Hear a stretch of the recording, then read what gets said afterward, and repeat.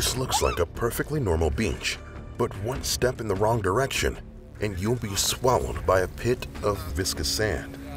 And I hope you've been hitting the gym because pulling your own foot out of this mess would require the same force as lifting a medium-sized car.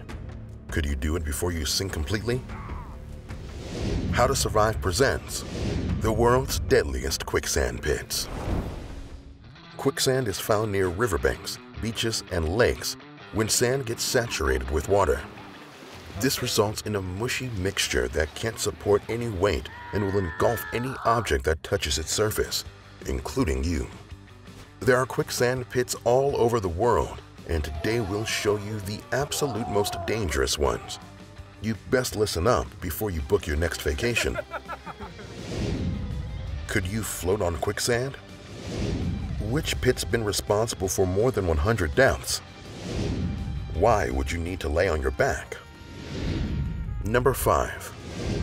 The Bledowska Desert, Poland. Yes, there's a desert right in the middle of Europe, and it's an exceptionally dangerous one. Also known as the Polish Sahara, it's 32 square kilometers of deadly sinkholes. If you happen to fall into one, try to stay still.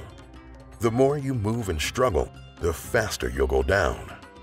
Try to lay on your back with your arms and legs spread. This will reduce the force you exert on the quicksand and prevent you from sinking further. Number 4. The Qattara Depression, Egypt. This sludgy sinkhole is the largest natural sinkhole on Earth. It expands 19,424.9 square kilometers and is covered in salt marshes, salt flats, and dunes formed over thousands of years as the rock slowly eroded and winds from the Sahara blew away the sand. If you fall into the depression, don't panic. The quicksand has more density than your body, so you'll float. Number 3. Morecambe Bay, Arnside, UK. Despite being full of draining rivers, shift channels, and quicksand, people still come to this bay for a good fishing experience although it can quickly turn into a nightmare. Strong currents create deep quicksand pits that change positions almost daily, making the landscape incredibly unpredictable. Karen Parkinson and her friends were enjoying a day at Morecambe Bay when they heard a warning siren indicating the tide was rushing in. As the group headed inland, one of her friend's daughters became stuck on the beach. As Parkinson and the girl's mom tried to free her, they also got stuck.